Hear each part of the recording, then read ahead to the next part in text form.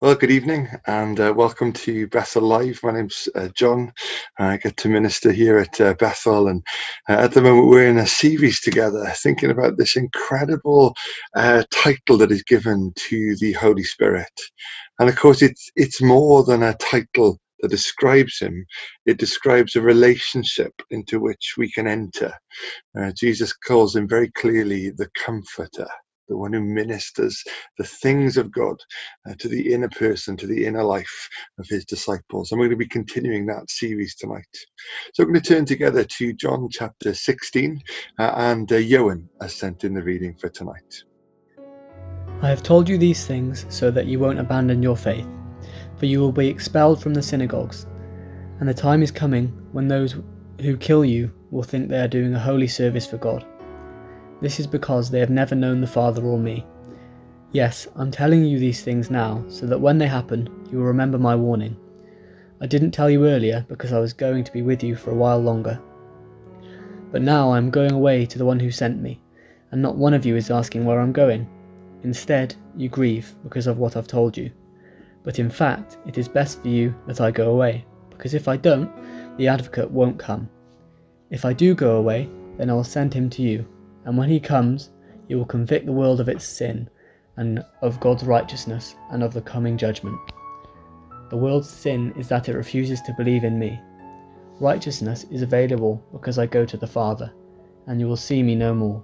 Judgment will come because the ruler of this world has already been judged.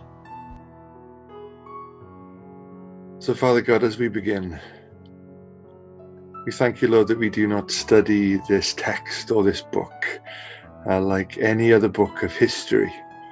Because, Lord, it, it contains the living word of God. Uh, Lord, somehow you're able to speak through these words, uh, through this story, to the story that is me, and to the living, ongoing, active story that you're doing in my life. And so I just pray now for all of us, God, whether we've had a, a real tough season, uh, or whether, Father, things are beginning to turn around uh, whether there are some great lessons that we've been learning or need to learn, uh, whether we're struggling and low, uh, whether we're feeling a bit more victorious and high. Lord, you've got something to say to each and every one of us, Lord, whether we feel like we're a real newbie disciple uh, or whether this is something that we've been walking in and growing in for many, many years. I pray tonight, Lord, that you'd minister to us out of your word. Uh, and Father, direct the course of our story through what you're going to say tonight. Uh, Lord, we don't want to finish our time together the same as we began. Uh, that would be the wrong way to read your word. And so we pray, Father, that as we read it, uh, that you, by your Spirit, the, the presence of the Comforter here, would read us uh, and that we would be changed in the encounter. And Lord Jesus, we pray these things tonight for your glory and for the sake of your work in us and through us. In Jesus' name, Amen. This may be a rather brave question to begin with tonight. I don't know, but I'm feeling brave. So here we go. Let's just go for it. Is anybody else feeling a bit sorry for Boris Johnson right now? But it's almost impossibly difficult uh, in this situation. He needs to have an ear for the scientists and learn from the research and, and, and all their recommendations and, and guidelines and suggestions. He needs to have an ear for the economist and keep an eye on how the business of the country is going, how people's livelihoods, not just lives, are, are struggling. He sadly also has to have an ear for the politics of the situation and how people may or may not react and what that may or may not mean. He needs to have an ear for the public and how they're feeling and uh, how, how they're responding, uh, not just to the crisis, but to the government's guidelines about it. He's got to have an ear for, for all of these things and then try to work out a way to navigate through that, knowing that not everyone will be happy. You, you cannot please all the people uh, all of the time. And then he's got to try to then persuade people that the way in which he's going to navigate all of these concerns, uh, all of these problems, all of these obstacles uh, is the best way forward, and to try with his words to persuade people uh, to follow a, a, roadmap, uh, a route out of this. And then after he's done that, he's got to look down at his phone where he will have a, a Twitter feed or a Facebook account or a news app uh, and read everybody's responses to his attempt to persuade them of the best way forward. I'm sure at times it feels like there is a big red rubber stamp that comes crashing down on the things that he said or the things that he's um, put forward that says failed to persuade. FTP failed to persuade. I'm sure at times we, we felt like that. Maybe you've um, been in work and you've had a white hot passion to change something. You could see a, a better way that it could be done, and you've gone rushing to the people that could implement uh, such a change or, or, or could um, instigate it and there's just been a sense of rejection. You've bounced right off the uh, the boardroom back to the drawing board, failed to persuade, didn't work. Maybe the issue wasn't in work. Maybe it was in your family, and uh, you, you saw a way in which you could relate together, spend more quality time together, but others just weren't interested maybe for you there is a sense of a, a, burning vision in you uh, and it's not about sort of convenience or efficiency, it's about justice or compassion or hope or peace. But at the moment, every door you knock just seems to, to be closed to you and seems to bounce. Uh, you seem to bounce off it, and all you can read uh, in in the kind of the inner vision over that that vision are the words "failed to persuade." Sometimes it runs even deeper than that, and the stakes are even higher. Sometimes you can share your faith or your story with somebody that doesn't share that faith or hasn't had that experience yet, and you've built up to it and you've prepared for it. Maybe even you've you've practiced it and then comes the moment after you've you've prayed it up and built it up in your mind and, and you pour your life you pour your story you pour out your hope for somebody. And then there's just that moment where you realize i failed to persuade.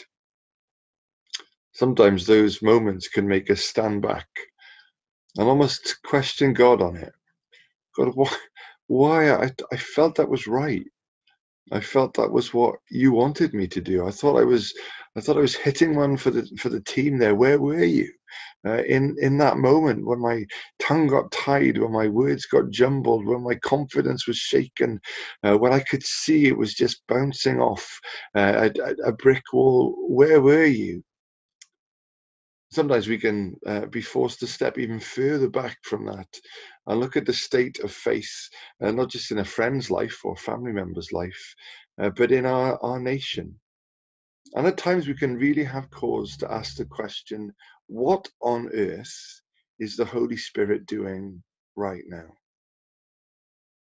And tonight, I just want to spend a few moments in this promise of Jesus, who tells us exactly what right now the Holy Spirit is doing uh, on earth. When we're honest, we admit, don't we, that there's not just many things we wish we could do, there's many things we wish the Holy Spirit would do and maybe it'll help us in our relationship with him uh, in our living in our praying in our expecting just to spend some time tonight exploring what jesus promises the comforter will do when he comes. So look with me at uh, chapter 16 i'm going to read from verse 7 down to verse 11 but i tell you the truth it is for your good that i'm going away Unless I go away, the counselor will not come to you. But if I go, I will send him to you. When he comes, he will convict the world of guilt in regard to sin and righteousness and judgment. In regard to sin, because people do not believe in me. In regard to righteousness, because I'm going to the Father where you can see me no longer. In regard to judgment, because the prince of this world now stands condemned. Jesus says when the Holy Spirit comes, uh, one of the key roles that he will have is in persuading, in the work of inner persuading.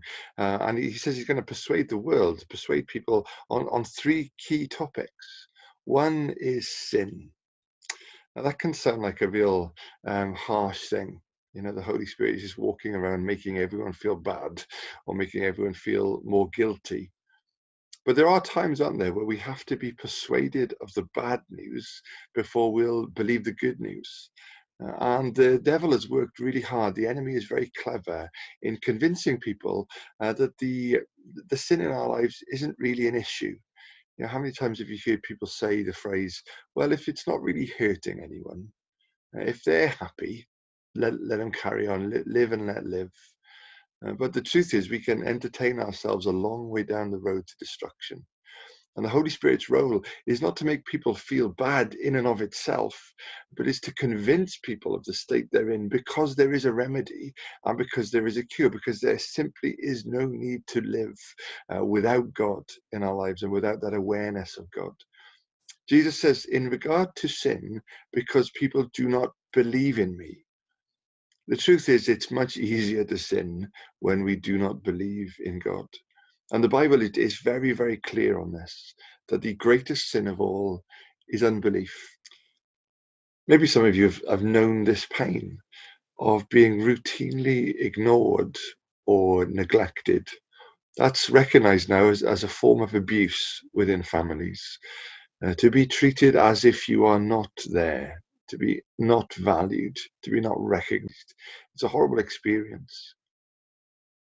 And Jesus says the, the greatest sin of all is to not believe in me, to live in God's world as if God did not exist, uh, to live our whole lives without acknowledging Him, without seeking Him, without wanting Him, greatest sin of all. And so the Holy Spirit's work is to convince people, to persuade them of the bad news, so that they can come to the full realization that this God is there. And then this relationship can begin, uh, and not just begin, but, but flourish.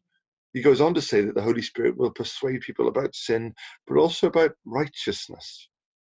See, the truth is, we don't just need persuading about what's wrong, we also need persuading about what's right the truth is we're all born aren't we into a culture uh, into a context.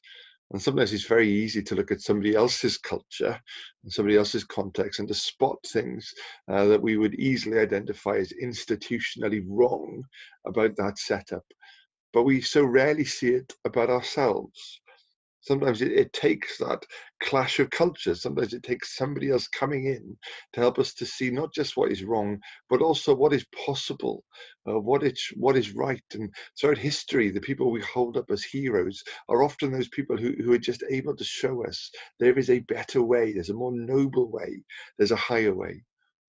And of course of all the lives that have ever lived uh, jesus is the highest and the greatest and the best. He came to reveal the way of the Father. And in three short years of public ministry, when he held no public office, he didn't write a book, he didn't marshal an army, he didn't hold big conferences or uh, do any of the things that we'd expect him to. In three short years, all he did was to live the Father's life among us, to display and to demonstrate the kingdom. And that in and of itself, before we even get to the cross and resurrection, has revolutionized uh, the entire world and still is, even today, we're still really just catching up with life as Jesus did it. But of course, now uh, Jesus says, I have gone to the Father. And so it's the Holy Spirit's role to persuade the world of righteousness, of what is right. Another way to understand this verse, I love the way the New Living Translation puts it, uh, is to uh, persuade the world that righteousness is available because I have gone to the Father. You know, that's such a lovely phrase, I've gone to the Father. And it trips off the tongue so often. But of course, for Jesus to go to the Father, he was going to have to go through Calvary. And it is there on the cross where Jesus exchanges his perfect righteousness, his perfect right record, his perfect uh, relationship with God. He exchanges it for our dirty record, our faulty record, uh, our record of wrongfulness. And the Holy Spirit wants the world to know that Jesus' righteousness is now available because he has gone to the Father. And the Holy Spirit is working to try and persuade people of that.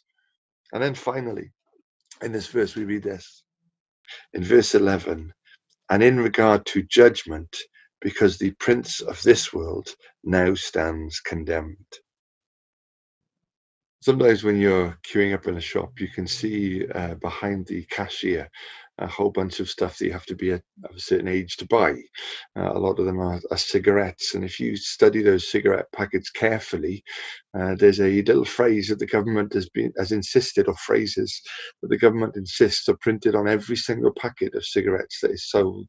That that just tell people smoking is bad for you, smoking kills, smoking is it is detrimental to your health. They're not doing that to make people who smoke feel worse about themselves. They're doing it out of out of love. If you continue to do this, there will be consequences, maybe even dire consequences for you.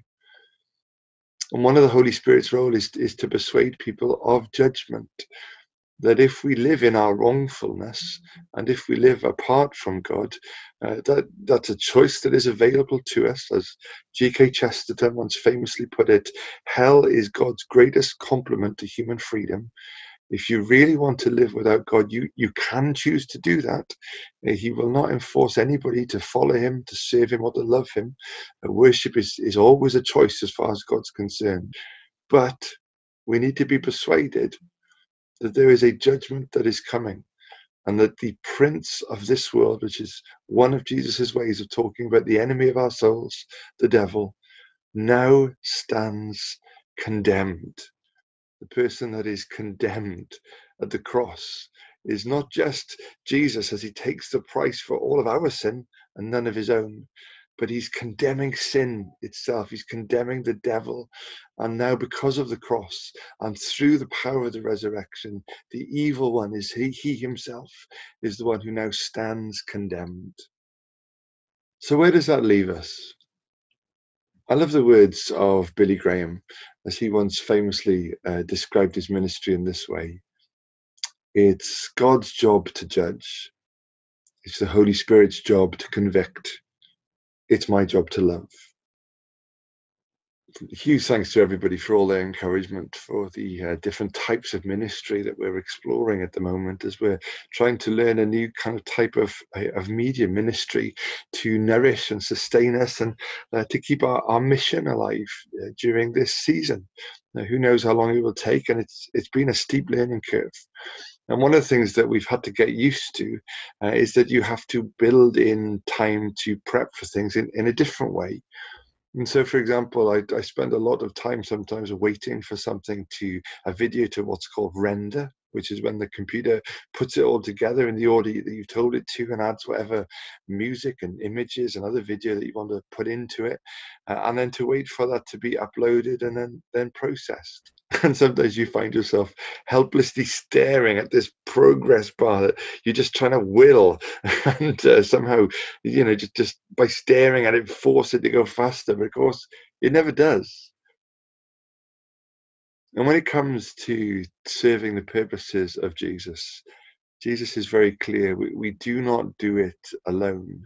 We do not have to live this life alone. The, the Comforter is not just with us, He's in us to help us live this life.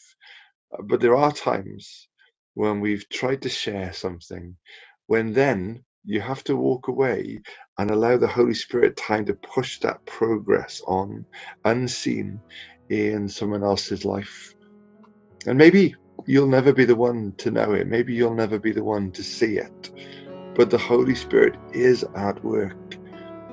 And we know this, don't we? Because there was a time in our lives when that progress bar within us slipped past somehow uh, just exploring faith to experiencing faith, from knowing about God uh, to knowing God and meeting Him. That's the work of the Holy Spirit in your life. And I know at times it can be frustrating. I know at times we'd love to push the progress bar faster in other people's lives. But we need to learn to leave the results to God. He knows what He's doing. It's His job to judge. It's the Holy Spirit's job to convict. And it's our job to love. So let's just take a moment tonight to think about where we are and what the Holy Spirit is wanting to do in this situation. And let's just pray for the work of the Holy Spirit through us and in the lives of others. Let's pray. And it might be right now that uh, you're thinking already of a conversation or conversations that you've had with a person or with people uh, that just seemed to stop somewhere, didn't seem to go anywhere, and you feel like you failed to persuade them. Maybe you felt down about that, or maybe you've beaten yourself up about that. The Holy Spirit, I, I just pray right now that you'd minister your comfort to us. That there are things that we do but then there's the work that only you can do.